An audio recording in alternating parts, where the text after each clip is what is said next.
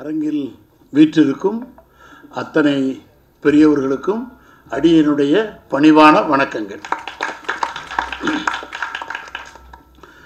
நான் மிகைப்படுத்தி சொல்லலை ரொம்ப யதார்த்தமான ஒரு உண்மையை சொல்கிறேன் எனக்கு பர்சனலாக எத்தனை முறை கடல் அலைகளை பக்கத்தில் இருந்து பார்த்தாலும் திகட்டவே திகட்டாது எப்பொழுதுமே எனக்கு அது மகிழ்ச்சி. பெரிய மலை அடிவாரத்தில் நின்றுக்கிட்டு வியாபித்திருக்கும் உயர்ந்து நிற்கும் அந்த மலையை எப்பொழுது பார்த்தாலும் எனக்கு அலுப்பே தோன்றாது. அது ரொம்ப ரசித்து பார்த்துக்கிட்டே இருப்பேன். அது திரும்ப திரும்ப எத்தனை முறை சந்தித்தாலும் உற்சாகத்தை கொடுக்கக்கூடியது. இப்படி அடிக்கடி நினைத்த மாத்திரத்தில் பார்த்த மாத்திரத்தில் உற்சாகத்தை கொடுப்பது எனக்கு பர்சனலாக நிறைய விஷயங்கள் இருந்தாலும் அவற்றுள் மிக முக்கியமான ஒன்று கடந்த நாற்பத்தி இரண்டு ஆண்டுகளுக்கு மேலாக என்னுடைய திரை பயணத்தில் என்னுடன் ஒன்றாய் கலந்து பணியாற்றும் என் ஊடக நண்பர்களுக்கு எத்தனை முறை பார்த்தாலும் நான் மிகவும் மகிழ்கின்றேன். உங்கள் அனைவரையும் வருக வருக என்று வரவேற்கின்றேன். இது சின்ன படம் அது பெரிய படம் அப்படிங்கிற பாகுபாடு வந்து எடுக்கக்கூடிய படத்திலேயோ போடக்கூடிய பட்ஜெட்லேயோ கிடையாது. படம் வெளியீட்டிற்கு பிறகு மக்கள் எப்படி ரசிக்கிறாங்க இது எந்த அளவிற்கு வரவேற்பை பெறுகிறது அதை பொறுத்து தான் அந்த படம் பெரிய படமாக கருதப்படுகிறது. அந்த விதத்தில் ரூபன் படம் மிகப்பெரிய வெற்றி படம்.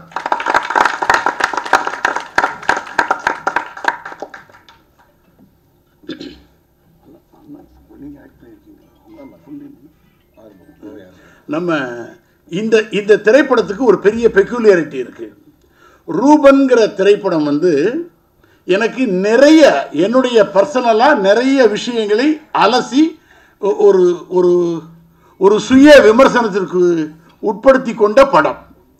ஒரு நாள் பல ஆண்டுகளுக்கு முன்னாடி கேர்ஜியா கார்டனில் ஷூட்டிங் நடந்துக்கிட்டு இருந்தது. நான் ஒரு திரைப்படத்துக்கு ஒரு ரொம்ப I am doing the lead role at the time so அதனால் அந்த ஒர்க்கு நடந்துக்கிட்டு இருந்தது. கேர்ஜியா கார்டனுடைய ஃப்ரண்ட் சைடு சார் ஒரு படத்துடைய பேட்ச் ஒர்க்கு ஒரு ஒன் ஹவர் பண்ணுவாங்க சார். அவங்க போனதுக்கு பிறகு நம்ம ஷூட்டிங் மறுபடியும் அந்த பக்கம் நடக்கும். அப்படின்னு எங்கள் டைரக்டர் சொல்லியிருந்தாங்க. சரி அப்படின்ட்டு ஒர்க் பண்ணிக்கிட்டு இருந்தேன். பரபரப்பாக வந்தாங்க. திடீர்னு அந்த பக்கம் ஃப்ரண்ட்டில் அமைதியாக இருந்தது. என்னங்க ஒரு ஒன் ஹவர் ஷூட்டிங் நடக்கிறதா சொன்னாங்களே அந்த சைடு ஷூட்டிங் நடக்குதா அப்படின்னா ஆமாம் சார். சிந்து பைரவின்னு ஒரு படம் ஷூட்டிங் நடக்குது. யோ அது எங்கள் படம் ஏ அப்படின்ட்டு நம்ம டைரக்டர் இருப்பாங்களே அப்படின்ட்டு ஆர்வமாக போய் பார்க்கறதுக்காக போனேன். என்னடா இன்னைக்கு ஓம் படம் இந்த இது நடந்துக்கிட்டு இருக்குன்னு சொன்னாங்க. ஒரு ஒன் ஹவரில் இந்த ஒர்க்கு நான் எடுத்துகிட்டு நான் கிளம்பிடுவேன். அப்படின்னாரு. எப்படா இருக்க அப்படின்னு டைரக்டர் என்னுடைய ஆசாம் கே பாலச்சந்தர் ரொம்ப தட்டி கொடுத்து விசாரித்தார் சார் நல்லா இருக்கேன் சார். சார் இந்த படத்தில் நான் இல்லவே இல்லையே சார் அப்படின்னேன். சும்மா சும்மா அப்படிலாம் கேட்காத சி நீ கேரியரில் வளர்ந்துக்கிட்டு வரும் பொழுது உனக்கு நல்ல நல்ல வாய்ப்புகள் பெரிய பெரிய வேஷங்கள் கிடைக்கும் பொழுது வலுக்கட்டாயமாக நான் இந்த படத்தில் இருப்பேன் அப்படின்னு நீ உள்ளே புகுந்தேன்னு வையி இதில் உனக்கு வாய்ப்பே இல்லை ரோலே இல்லை. சார் ரோல் இல்லைன்னா பரவாயில்ல. அண்ணா நீங்கள் பேசுகிறீங்களா நான் பேச வேணேன் சரி சார் ரோலே இல்லை. இதுலலாம் உனக்கு ஒர்க்கு கிடையாது. நான் தான் சொல்லிட்டேனடா நீ திருப்பி திருப்பி ரோல் ரோல்னா எப்படி இது ஒரு சீனு ஒரு ஷாட்டுக்கெல்லாம் வரணுங்கிறியா? அப்படின்னா அப்போ நான் டைரக்டர்கிட்ட ஒரு தாழ்மையான ஒரு விண்ணப்பத்தை நான் வைத்தேன். சார் நான் எவ்வளவு பெரிய நடிகனாக இருந்தாலும் இன்னும் எத்தனை ஆண்டுகள் பணியாற்றினாலும் சின்ன நடிகனாக இருந்தாலும் எனக்கு அது முக்கியம் இல்லை என்னை முதல் முதல்ல சார்லின்னு பேர் வைத்து நீங்கள் அறிமுகப்படுத்தினீங்க. அதனால என்னுடைய ஆசானுடைய எல்லா படத்துலையும் நான் ஒரு ஷாட்டாவது வரணும் சார். எனக்கு ஒர்க்கு இல்லைன்னா குரூப்லையாவது நான் வர்றேன். எனக்கு அந்த அந்த அந்த அனுமதியையும் அந்த ஆசையையும் எனக்கு நீங்கள் கொடுக்கணும்னு கேட்டேன். சரி சரி. இவன் ஒருத்தன் ரொம்ப சரிடா. நான் இன்னும் ஒரு பத்து பதினஞ்சு நிமிஷத்தில் பேக்கப் பண்ணிடுவேன் வா அப்படின்னு சொல்லி எடுத்தாங்க. அந்த படம் ரிலீஸ் ஆகி பெரிய வெற்றியாச்சு அப்போது ஒரே ஒரு காட்சியில் வருகிறார் சார்லி.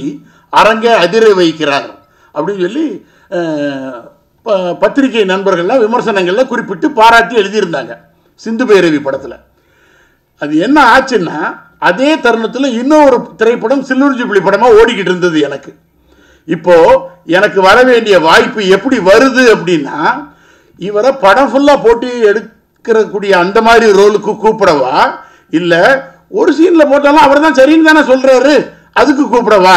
அப்படிங்கிற ஒரு ஒரு பெரிய ஒரு டிரான்சிட் ஸ்டேஜ் அது என்ன சொல்லுவாங்கன்னா ஒரு ஒரு நடிகனுடைய கேரியரில் ரொம்ப முக்கியமான தருணம் என்னன்னா என்னுடைய சரியான வாய்ப்பு கிடைத்தும் நான் சின்ன வேஷம் கொடுத்தா பரவாயில்ல சார் அப்படின்னு செய்யக்கூடிய லெவலில் இறக்கக்கூடிய ஒரு நிலைமையாக மாறிடும் அந்த தருணம். ஸோ இது எப்படி வென்றெடுக்கிறது அப்படின்னா ஒரு இன்னொரு விதத்தில் வென்றெடுக்கலாம். எப்படின்னா இந்த இந்த இந்த அருணாச்சலம் ரோட்டில்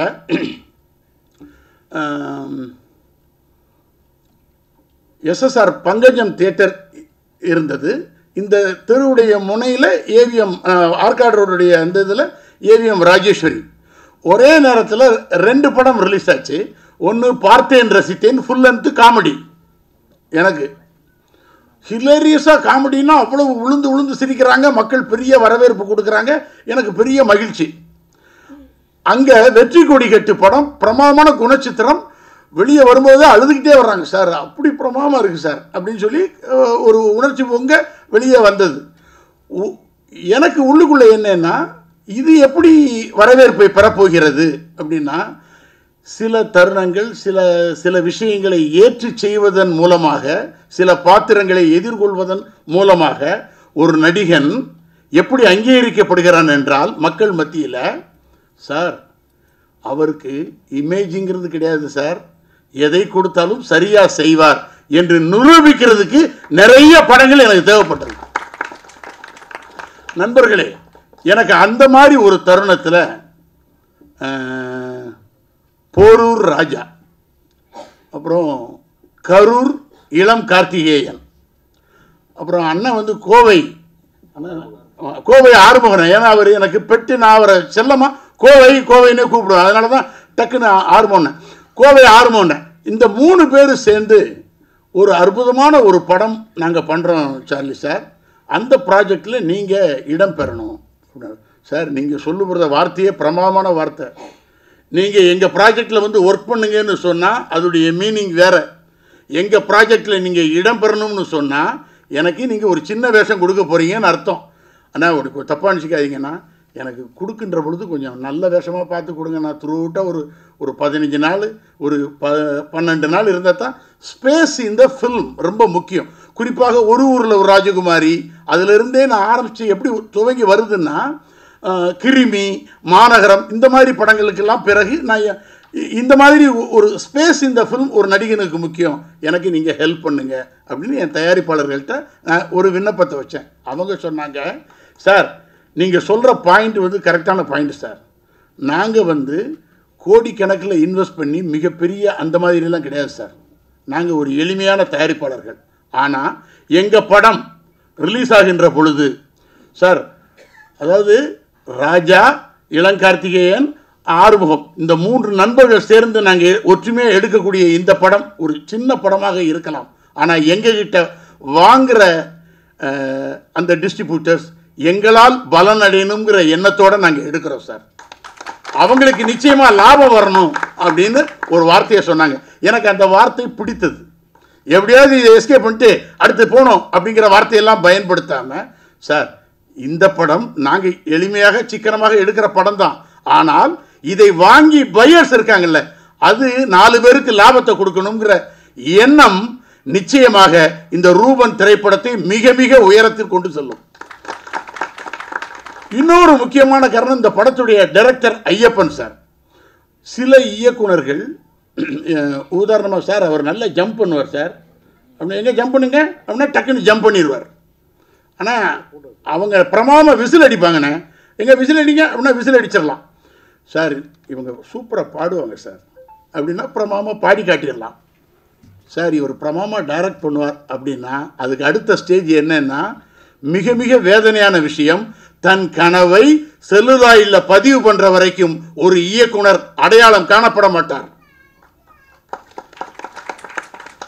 நண்பர்களே இந்த ஐயப்பன்கிற படைப்பாளி தலை சிறந்த இயக்குனர் மிக பிரமாதமான இயக்குனர் அவருக்கு இந்த திரைப்படத்திற்கு பிறகு மட்டுமல்ல என்றும் சினிமாவில் சாதிக்கக்கூடிய மிகப்பெரிய சாதனைக்குரிய இயக்குனர். ஏன் இவ்வளவு அழுத்தமாக நான் சொல்ல வர்றேன் அப்படின்னா நான் எத்தனையோ எண்ணற்ற இயக்குனர்களோட ஒர்க் பண்ணியிருக்கேன். நிறைய சில இயக்குனர்கள்லாம் என்னுடைய என்னை நேசிக்கும் நான் நேசிக்கும் எங்கள் டைரக்டர் ஃபாசில் சார் ஒரு தடவை சொன்னார் சார்லி நீ நடந்து வந்து இதை இப்படி செய்யணும் அப்படின்னு நான் சீன் சொல்லிட்டேன். நீ எப்படி செய்யறியோ அதுக்கேற்ற மாதிரி நான் ஷாட் வைக்க போகிறேன் செய் அப்படின்னு சொல்லியெல்லாம் என்னை நேசித்து உயர்த்தி பிடித்த இயக்குனர்கள் எத்தனையோ பேர் இருக்கிறார்கள். ஆனால் இந்த டைரக்டர் ஐயப்பன் சார் எப்படின்னா எடிட்டர் வெர்ஷன்லேயே ஃபில்ம் பண்ணக்கூடிய இயக்குனர். நிறைய எடுத்துட்டு அண்ணா அது எதுவுமே படத்தில் வரலண்ணா. அப்படின்னு சொல்கிறதுக்கு பதிலாக தான் படத்தில் எதை பதிவு பண்ணணுமோ அதை மட்டுமே எடுக்கக்கூடிய ஒரு ஒப்பற்ற ஆற்றல் மிக்க இயக்குனர் ஐயப்பன். இந்த ஐயப்பனை மட்டுமல்லாமல் எங்கள் படக்குழுவினர் அத்தனை பேரையும் அந்த இறைவன் ஐயப்பனும் இறையருளும் என்றென்றும் காத்து இந்த ரூபன் திரைப்படம் வெற்றி வெற்றி வெற்றி என்று பறைசாற்றும் நிச்சயமாக உறுதி. அனைவருக்கும் நன்றி வணக்கம்.